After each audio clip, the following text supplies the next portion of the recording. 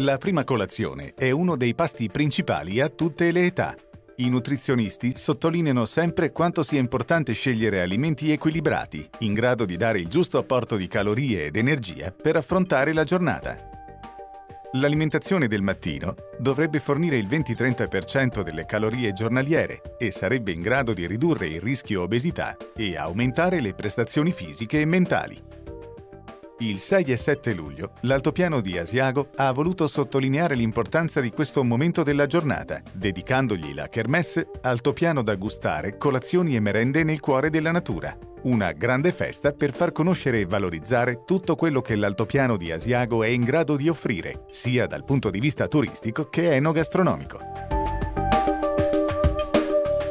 Abbiamo organizzato con la collaborazione del, degli altri attori del territorio questa manifestazione, un altopiano da gustare e il motivo per il quale l'abbiamo fatto è quello di dare valore alla prima colazione, sia come momento eh, dietetico, la colazione è molto importante, ce lo dicono i nutrizionisti e anche perché dobbiamo dire che i nostri prodotti sono prodotti da prima colazione Abbiamo invitato degli, degli, chef eh, famosi perché con la loro creatività e, e il loro buon gusto ci dessero, eh, quel, dessero quel, valore in più alla, eh, a questo momento che è un momento di aggregazione per tutta quanta la famiglia.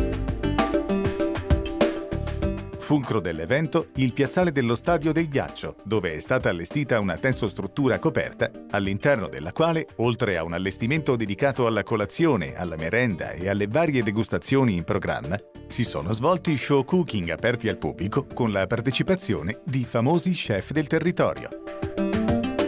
Siamo ad Asiago, siamo venuti a presentare un, una manifestazione sulle marmellate, sui prodotti del nostro territorio e della nostra terra. Siamo qui con uh, tutti i vari produttori, con uh, tutti i prodotti del territorio, quindi dalle marmellate ai formaggi, a una birra, la birra cimbra che è stata presentata ultimamente e siamo qui per uh, far conoscere alla gente di cosa siamo capaci, di cosa può offrire il nostro territorio.